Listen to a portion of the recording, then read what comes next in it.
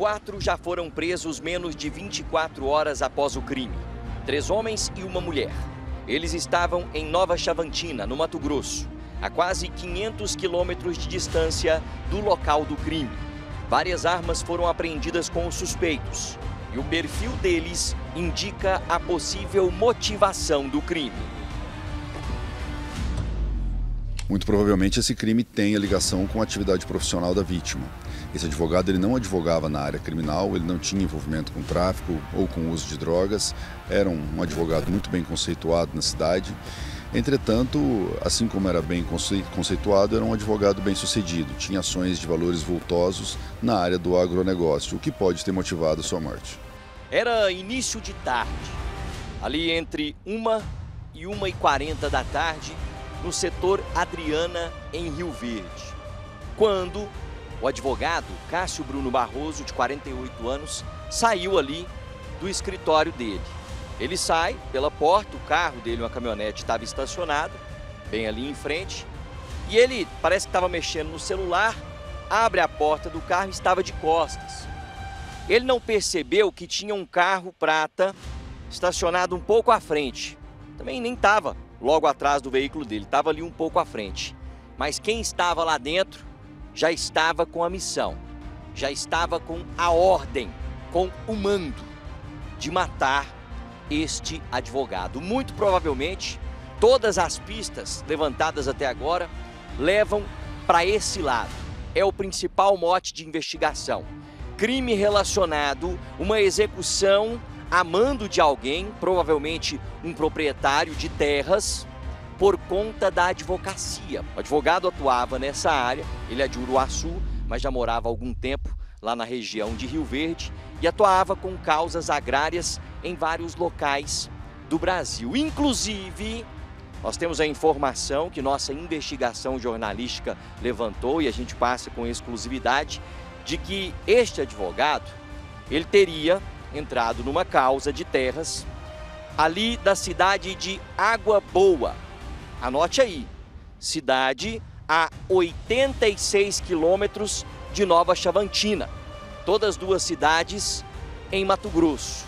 Pelo levantamento policial, os pistoleiros no carro prata matam ali o advogado por volta de 1h40 da tarde. Dali, eles saem em fuga. Inclusive, abandonam aquele veículo utilizado no crime, o veículo prata. O veículo é encontrado esse veículo Fiat Uno Prata é encontrado abandonado no posto campestre, às margens da BR-060, próximo ao shopping aqui da cidade de Rio Verde.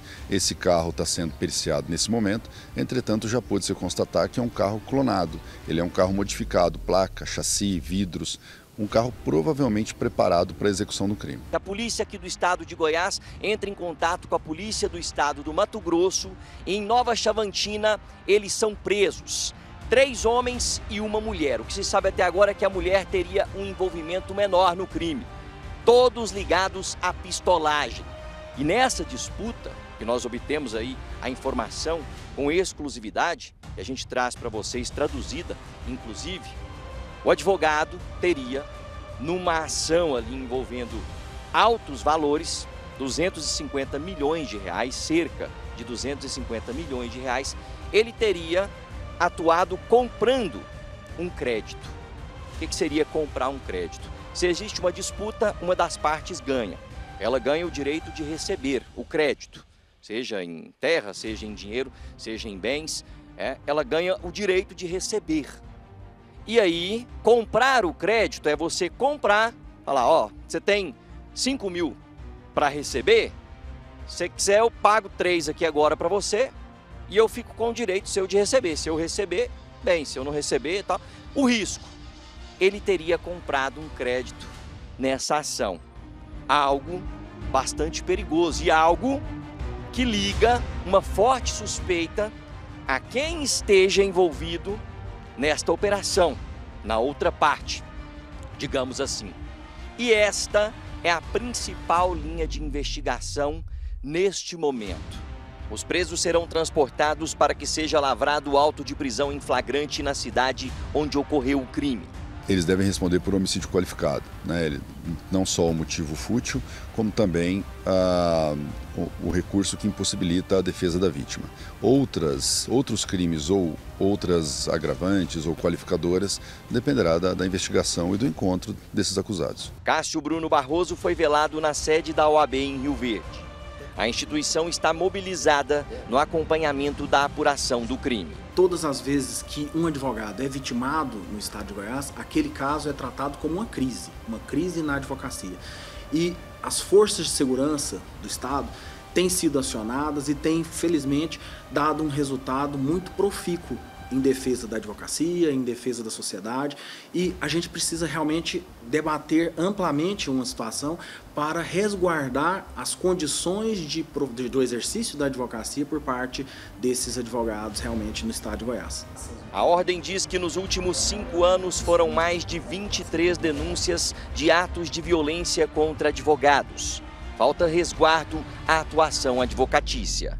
O advogado lida com um conflito de interesses.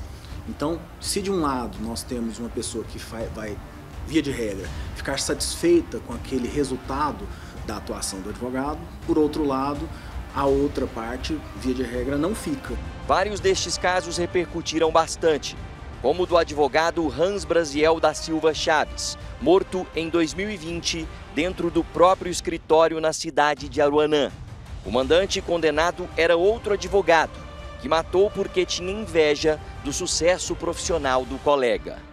Ou o caso dos advogados Marcos Aprísio Chaves e Frank Alessandro Carvalhais de Assis, morto dentro do próprio escritório em outubro de 2020 na capital.